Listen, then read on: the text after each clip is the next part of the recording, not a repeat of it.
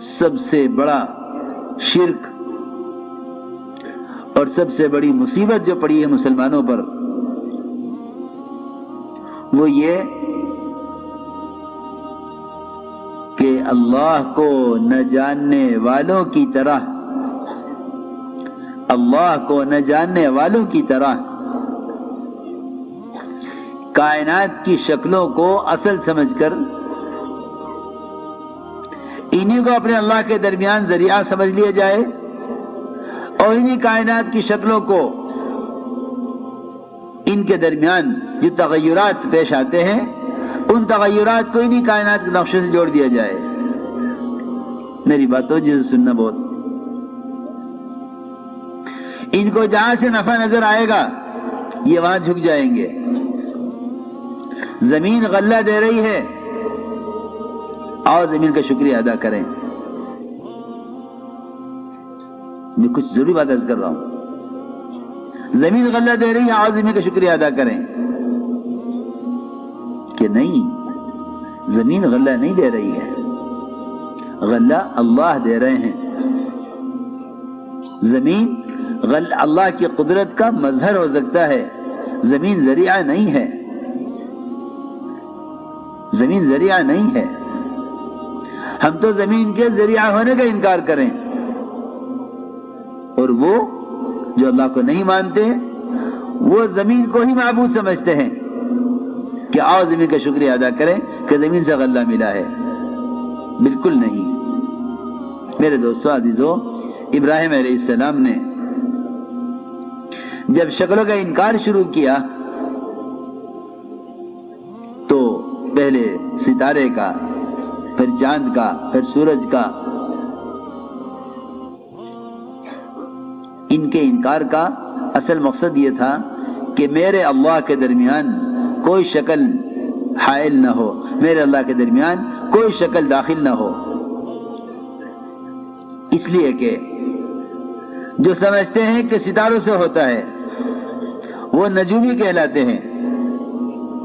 जो समझते हैं सितारों से होता है, वो नजूमी कहलाते हैं। जो समझते हैं कि ज़मीन से होता है, वो ज़मीन के पुजारी कहलाते हैं। जो समझते हैं कि सूरज से होता है, वो मजूसी कहलाते हैं। इब्राहिम सलाम ने इन तमाम शक्लों का इनकार करके ऐलान किया कि मैंने अपने रुख को बने हुए से बनाने वाले की तरफ़ फेर लिया है। असल बात यह थी कि कायनात की जितनी भी शक्लें हैं, इन तमाम शक्लों से ना होने और महज अल्लाह की ज़ात आली से, बराह रास्त अल्लाह के अमर से होने के यकीन पर आओ यही वजह है, यही वजह है कि इस जमाने में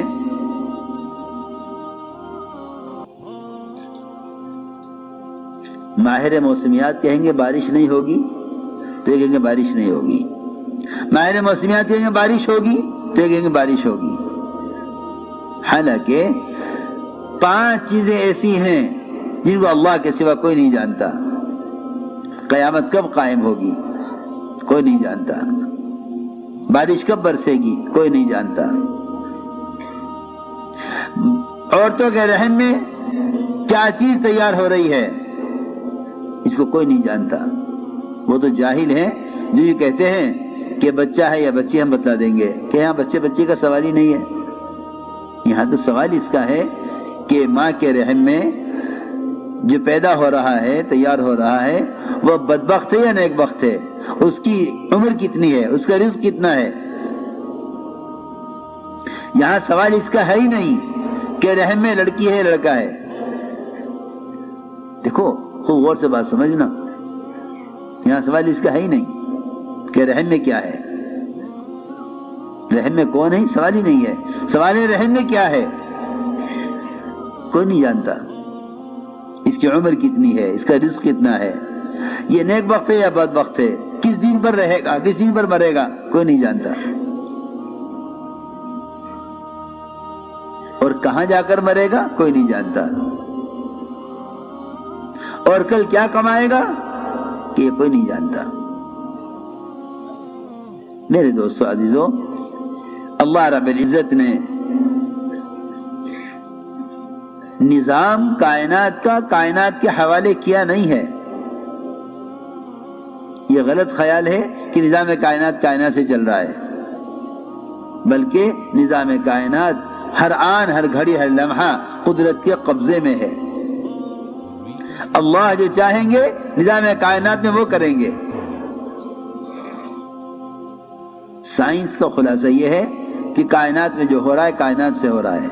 यूँ होगा तो यूँ होगा, ये होगा तो फिर ये होगा। नहीं, बल्कि यूँ कहो कि जो कुछ होगा बरह रास्त अल्लाह के करने से होगा।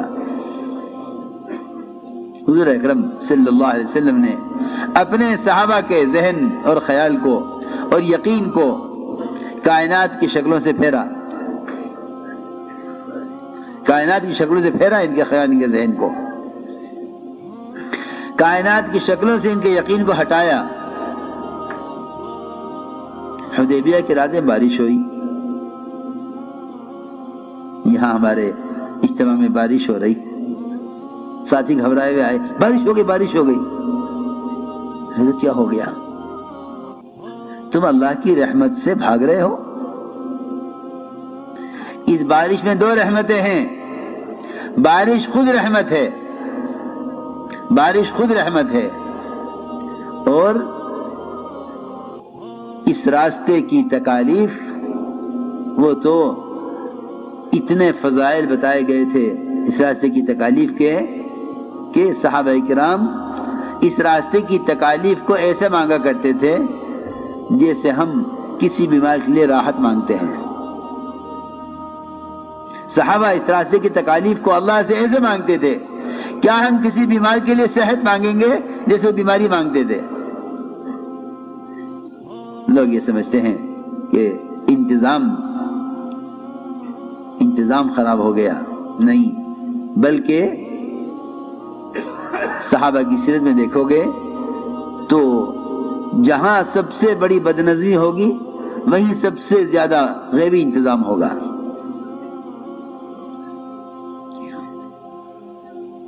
मैंने तो ये गौर किया कि अल्लाह रब्बुल इज़्ज़त देखना चाहते हैं इस मजमे को कि अगर मैं इस काम के करने वालों को सहाबा की तकालीफ से गुजारूं तो इनका दिल क्या कहता है ये शुक्र करते हैं शिकायत करते हैं अगर मैं इनको साहबा की तकालीफ से गुजारूं तो ये शुक्र करते हैं या